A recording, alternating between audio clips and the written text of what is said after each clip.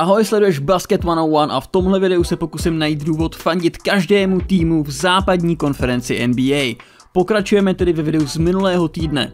Jestli si to tenhle kanál zaslouží, tak mu dejte like a přihlašte se k odběru. Teď už jdeme na to. Za Dallas Mavericks hraje druhý nejtalentovanější Evropan všech dob a vydrží tady nejméně do roku 2027.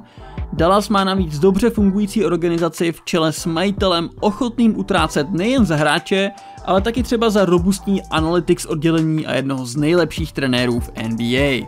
Za Denver Nuggets hraje třetí nejtalentovanější Evropan všech dob. Já si to pořadí vymýšlím na místě, prosím vás, nechytejte mě za slovo. Nikola Jokic tu vydrží nejméně do roku 2023 a Jamal Murray má smlouvu až do roku 2025 a teď teprve čerstvě oslavil 24. narozeniny. Golden State mají v draftu 2021 pick Minnesota. Ten pick zůstane Minnesota, pokud se bude jednat o první, druhou a nebo třetí volbu, ale od čtvrté dál patří ten pick Golden State. Pokud by přece jenom zůstal Minnesota, Golden State dostanou jejich pick příští rok. Do příští sezóny tedy můžou Warriors vstupovat se Splash Brothers, Draymondem Greenem, o rok zkušenějším Wisemanem a ještě jedním nadějným nováčkem anebo s prémiovým pikem od Minnesota. Warriors jsou navíc díky svojí poloze v San Francisku jedním z nejbohatších týmů v NBA a jejich majitel Joe Lacob se nebojí za úspěch zaplatit. Mít štědrého majitele je v NBA obrovský luxus. Houstonu se podařilo oškubat Brooklyn Nets při tradu Jamesa Hardna o všechno. Houston má tak bohatou zásobu draft picků do příštích let a Christian Wood za 14 milionů dolarů ročně je naprostý jackpot. Los Angeles Clippers jsou vyzrálejší verzí Bostonu Celtics, mají dvě elitní křídla na vrcholu své kariéry, ale to se porvou o titul.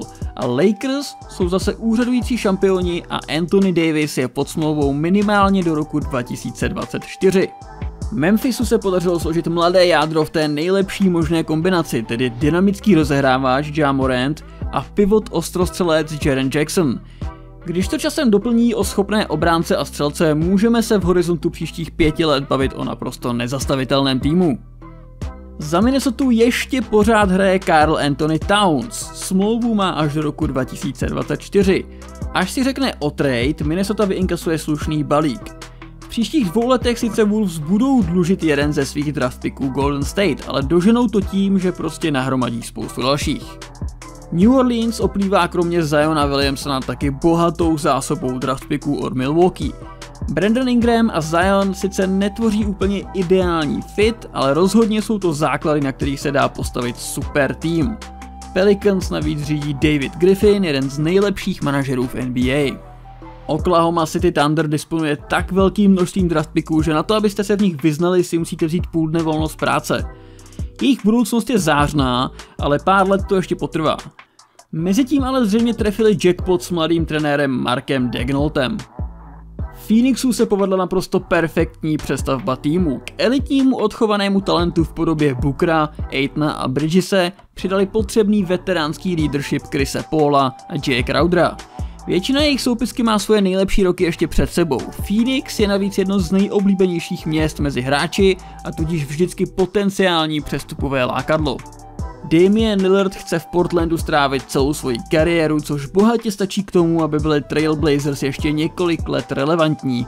A až jednou prolomí tu svoji smůlu se zraněními, možná se jim povede postavit tým pro finále NBA. Sacramento Kings draftovali v roce 2022. nejlepšího hráče Tyrese Halliburtona a to až na deváté pozici. Svůj pick mají i pro rok 2021 a Diaron Fox má potenciál k tomu, aby časem hrál na All-Star úrovni. San Antonio Spurs se letos mohou rozloučit se svojí starší generací hráčů, pokud budou chtít. S mladými puškami Whiteem a Marym už se navíc dohodli na dlouhodobých kontraktech. Dá se předpokládat, že Greg Popovič tým brzy opustí, ale pořád se bavíme o jedné ze tří nejlépe vedených organizací v NBA. No a to nejlepší nakonec, Utah Jazz jsou nejlepším týmem letošní základní části. Skladba jejich kádru perfektně odpovídá tomu, co chtějí hrát na polubovce a celé to prostě dává smysl. Tedy alespoň pro základní část. Jak to bude v playoff, to se ještě uvidí. A to je asi tak všechno. Kanál Basket 101 se blíží k metě 700 odběratelů. Pokud se tam dohrabeme, tak naplánuju nějaký livestream spojený se sledováním zápasu NBA. Nejspíš to bude v neděli večer. Zatím díky a mějte se. Ciao.